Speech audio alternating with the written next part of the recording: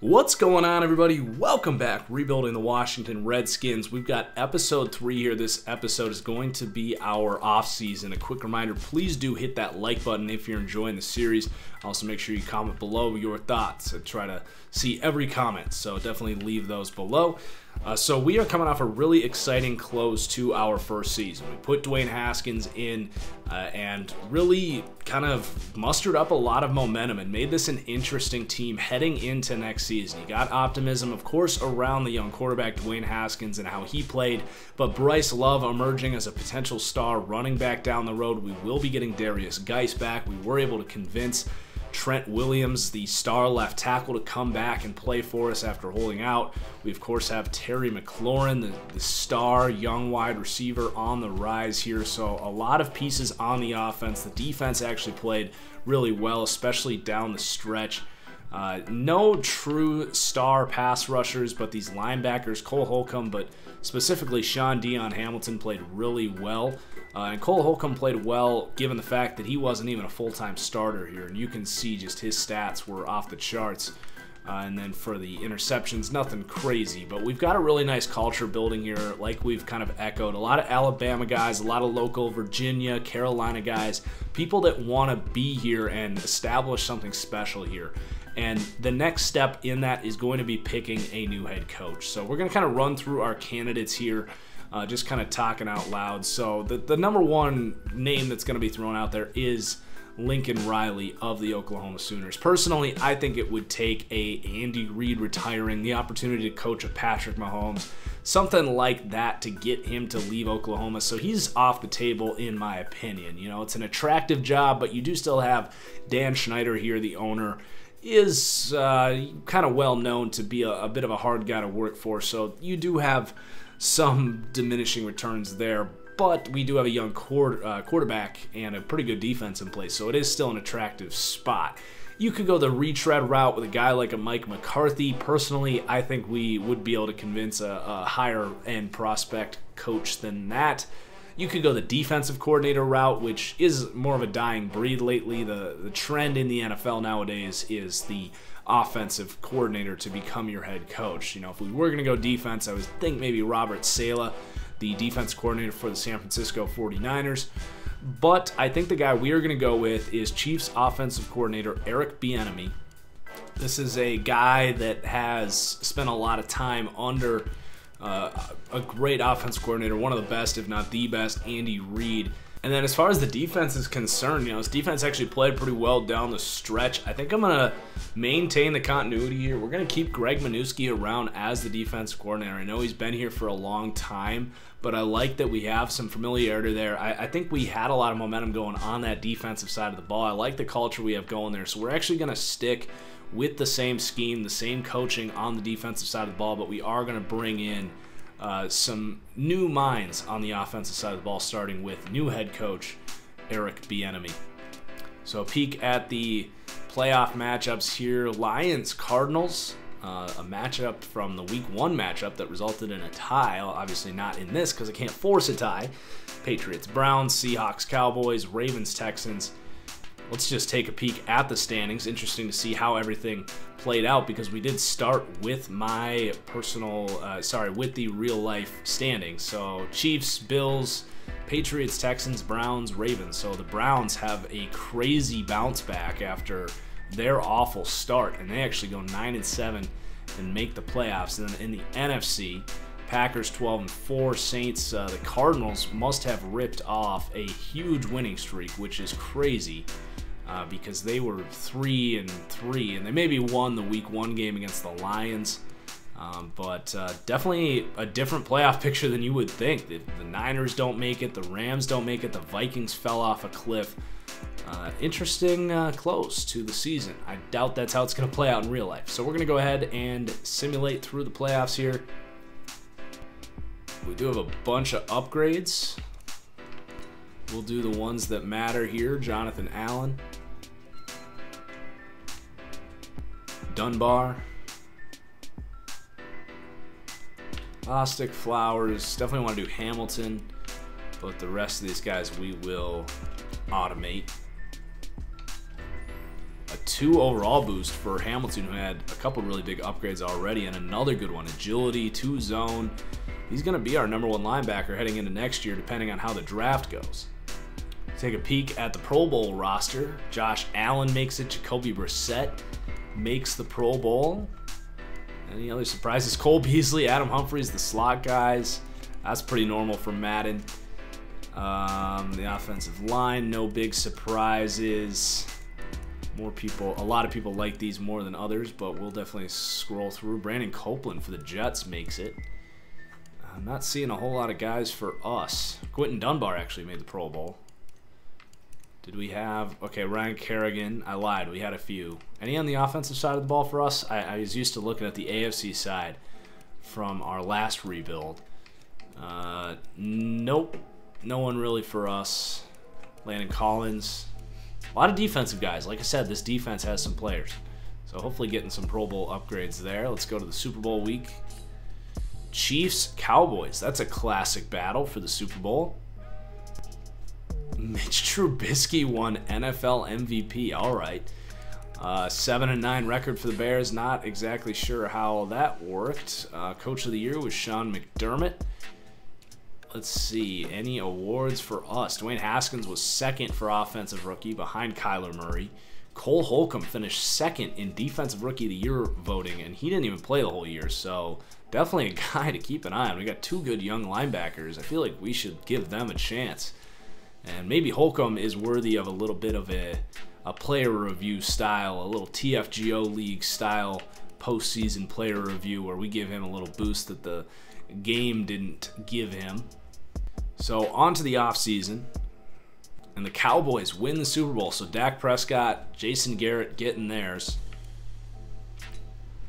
And Landon Collins goes up to Superstar X Factor. I'm actually all right with that boost because he was a Pro Bowler. He gets the selfless trait, which is really interesting. It uh, helps other guys get in the zone faster, which is pretty cool, although we don't have any uh, X Factors on the defensive side of the ball. And I did forget, we actually get Reuben Foster back, so that's going to muddy up this linebacker room. Um, but we're definitely pretty satisfied with what we have there in that linebacker room. That's going to help this defense a lot next year. Corner definitely going to be a big need for us in the offseason. Probably our number one need. As I'm just kind of scrolling through the roster there to see what our biggest needs are going to be. So let's take a peek at our re-signings. Chuck Clark came in here, played pretty well. I'm going to offer him a contract, a three-year deal. We are going to lowball him a little bit, uh, just because I, I want to make sure we can have some flexibility with our cap. So he's going to come back on a three-year, about $4 million contract. That's a good deal. Uh, Sills, he's asking for a lot, but I think we can get him for much cheaper than that. Let's get him on a two-year kind of league minimum salary here.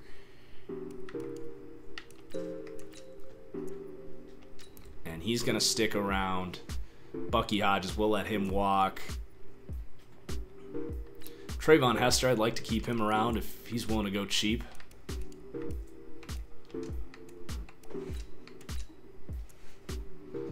He's going to test out free agency. Flowers wants to hit the market. I think we're going to let him.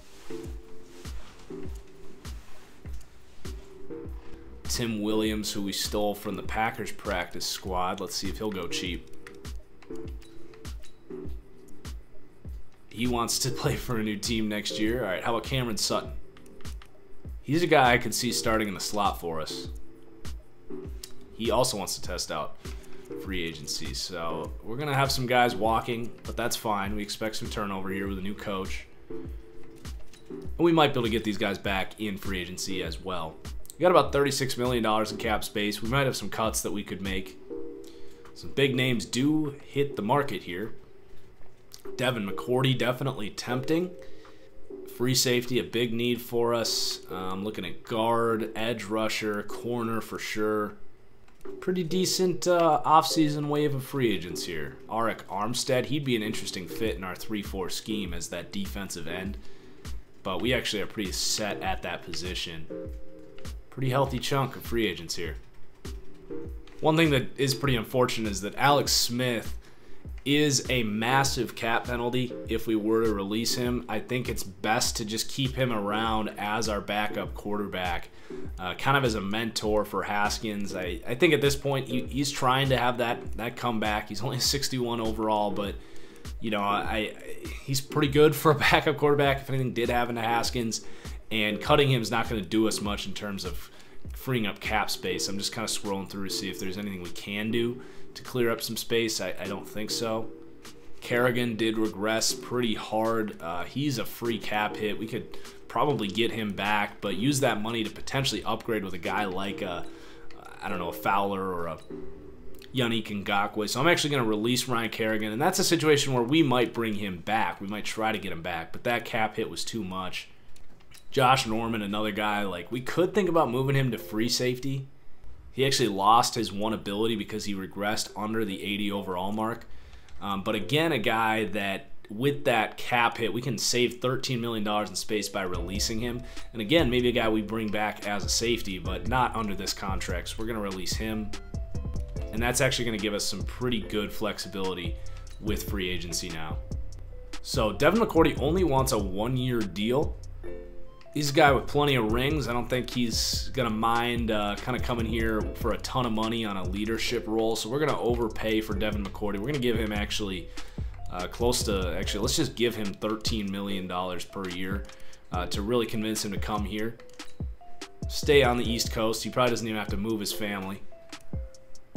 And I would love to pair him with a big cornerback signing. Ronald Darby, really the only guy on the market. Jonathan Jones, a corner that uh, plays uh, next to him in that New England secondary. Or we could sign his brother, Jason. But he's kind of slowing down a little bit. Darby's asking for a lot, but I think we can actually afford it. We've got the rookie quarterback on that cheap contract, so I'm actually going to pay up to try and get Ronald Darby in here going to cost us about 12 and a half per season. We are the favorites right now, but beefing up that secondary would really help. I am going to give another offer to Ryan Kerrigan, but it's not going to be as much as he might like. About 5 million per year. Certainly don't need any middle linebackers.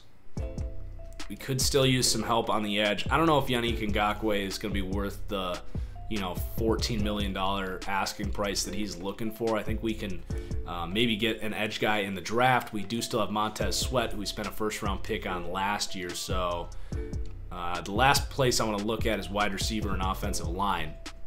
I don't see a ton of excellent options here. I'm going to reward Trey Quinn and give him at least a decent opportunity to, to win that slot wide receiver job. And then on the offensive line, we do need guard help. I think I'm going to go a little more of a bargain here. Instead of really paying up for a Thuney or a Whitehair, I'm going to go for Andrew Wylie, who did play for Eric Bieniemy here uh, in Kansas City. So two-year, $5 million offer for him. So I, I'm pretty happy with this wave. It's going to save some money for next year as well. Let's see what happens. Darn, we missed out on Darby. We did get Devin McCourty to come in here, so I do like that. But we're definitely going to need to spend some money on a corner. The Giants have come in on Ryan Kerrigan. Andrew Wylie, his price is rising. And I'm going to keep going. I like the idea of bringing him in here. He's only 26 years old. Put him with Bieniemy, who he's familiar with. I'm going to let the Giants have Ryan Kerrigan. I'm ready to let him go, especially if he wants a two-year contract. If the Giants are going to give him that, let's let's let him go. I don't want to get tied down as he continues to regress. I'd rather uh, get younger and faster at that position.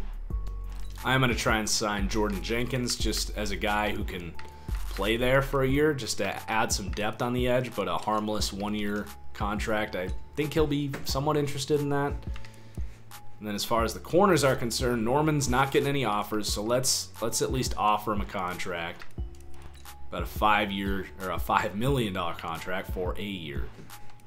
And Trae Waynes only wants a one year deal. So let's go ahead and kind of use him as a band aid. We missed out on Darby, but we don't want to overpay for a guy like Jonathan Jones and get sucked into a contract that we might not want. So we're going to go with Trae Waynes there. Hopefully he accepts that. All right, let's go ahead to next week.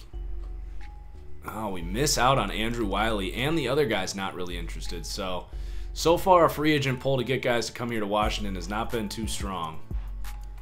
We are no longer the top offer on Jordan Jenkins. I mean, good for you. If you're getting that offer, you can go ahead.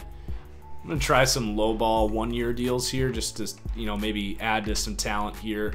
Robert Foster not getting any offers, so maybe we can get him around here on a two-year, pretty cheap contract. Let's just try it.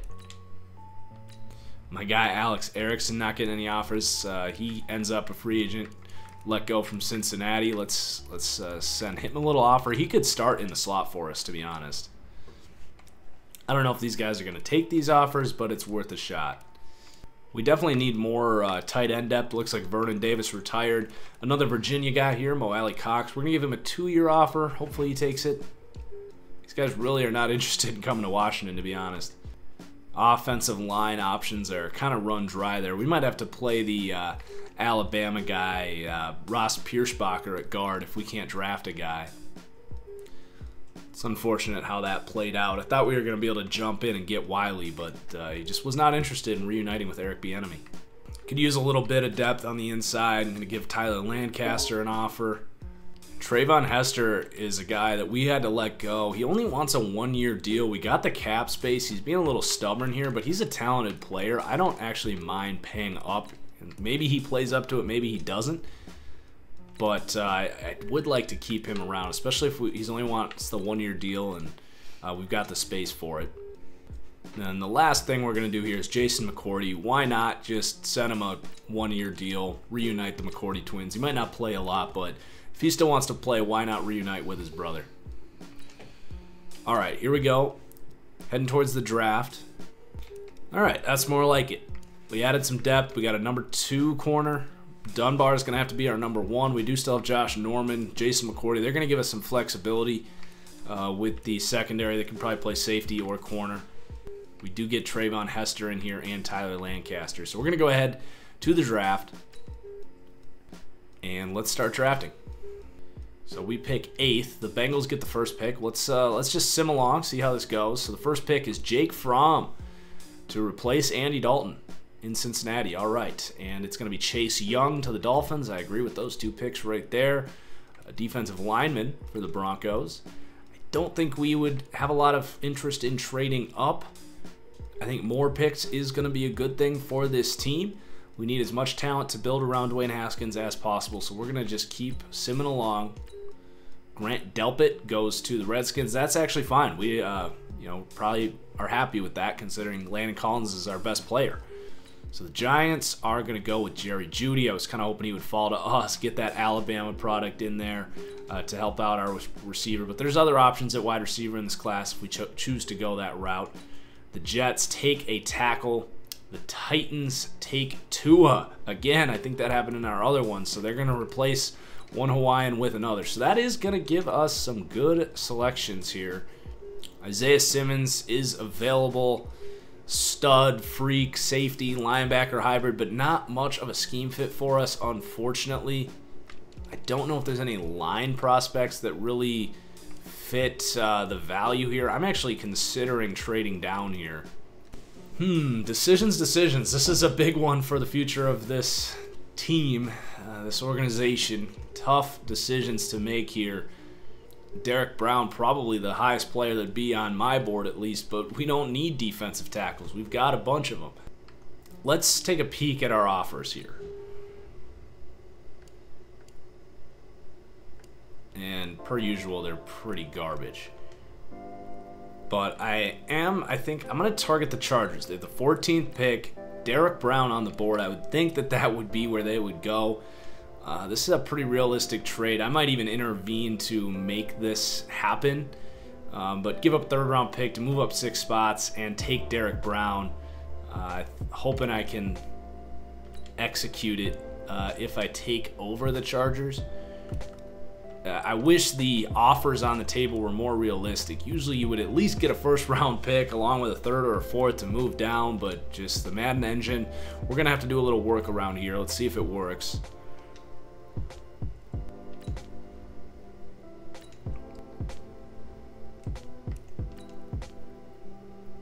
and it did. So let's see, are we allowed to make this trade now? We are. So we can manipulate things like that. I don't know, some people might not like that I do this, but I actually think that's very realistic as a Chargers team that really is only a piece or two away. They need offensive line help, but that interior defensive line is so bad there. Uh, and this is a really good player, Derrick Brown, that we would love to have taken, but just not a need for us at all. So I don't think any Chargers fans would complain about that. That's a, a piece that they've really needed. And they're sitting there in the middle of the draft, a piece away. So we're going to go ahead and do that. We'll go ahead and retire as the Chargers.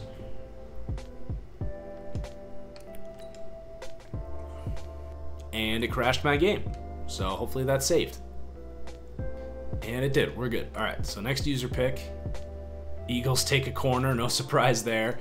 All right, so a little more flexibility here at 14. The value's a little better. Laviska Shenault, I know we took him in the Bills rebuild. He would be an excellent fit here, a physical player. Uh, but corner, is there any value here? You got Bryce Hall. If we wanted to stick with the Virginia route, you got Kristian Fulton, really athletic, full-sized corner. He's kind of where I'm leaning right now. Trevon Diggs, really athletic guy. If we want to stick with the Alabama route, we could go with a Studley center in Tyler Biadasz. There's no pass rushers that I'm really thinking about at this spot. I do like Anfernee Jennings, but this is a little high. Uh, so we are, I think, going to take Kristian Fulton out of LSU. I know these guys are the culture fits, the uh, cohesiveness, but I think Kristian Fulton's just a better player. So we're gonna we're gonna roll the dice with him. And he is a 75 overall with hidden development. Really good athlete. I think that was the right pick. He's he's looking like a stud. They said we reached, but I don't think so. Very happy with that pick. So we don't actually have a second round pick. I'm not sure when the Redskins got rid of that. Must have been in the trade up for Montez Sweat. So we're going to have to skip ahead here. So let's see what wide receivers are still available. CeeDee Lamb is available. Henry Ruggs is available. The Speedster, very tempting to go that route. But there is a Mauler at guard available, Solomon Kindley. That is where I'm most tempted to go right here. Could also go with a good pass rusher here in Curtis Weaver. Man, we're going to have a good pick here with that pick we got from the Chargers. But that guard spot is a big weakness. I like uh, what Solomon Kindley looks like here. We're going to take him 66 overall. He does have normal development, but he is going to play for us. Uh, I think that's a good pick. Remember, 66 is actually pretty good for a rookie lineman uh, in Madden 20. So we're going to go ahead to our next pick. And I think Curtis Weaver is going to be the pick for us. Ruggs, extremely tempting. We do already have that deep threat. Mmm.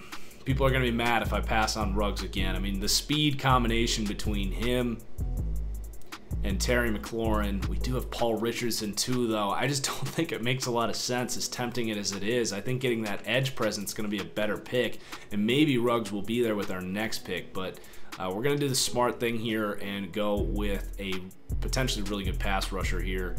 68 overall. Uh, 79 finesse moves, though. Pretty good athlete. Not going to complain about that pick at all. We need a guy there because we didn't get any free agents and uh, Kerrigan's gone. So next user pick.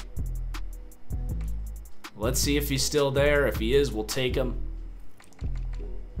And there he is. It pays off. Henry Ruggs in the fourth round. So he's got a hidden development, 95 speed. All right, we may have just found another steal in the mid rounds, just like Terry McLaurin the year before. Wow. Skip this Chargers pick. So this draft's going well. Uh, can we find any more steals here?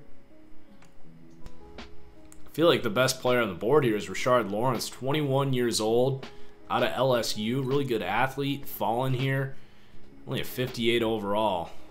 That's, uh, that's a bit of a whiff there. An athlete, but probably a guy that's not going to make the team. So first bad pick of the draft. I thought he'd be better than that. So seventh round here, trying to fish for a sleeper. Good amount of wide receivers still available. How about a potential slot guy, or at worst a kick returner maybe? Ooh, Well, he is quick and fast. He can at least return kicks for us. He'll be a weapon. We got another pick coming up here. I'm going to take a swing at one of these undersized free safeties here. Maybe a slot corner, perhaps. Here's a speedy little slot corner, Isaiah Rodgers. Yeah, that'll work for a seventh round pick for sure. Adding some athleticism. All right, that's the class. We had some whiffs in the middle there, but I'm really happy with our first four rounds. So that's the off season. We're setting up for an exciting year too. Again, guys, please do hit that like button. We'll be back on Friday at 6 p.m. Eastern with episode four. Uh, so until then, peace.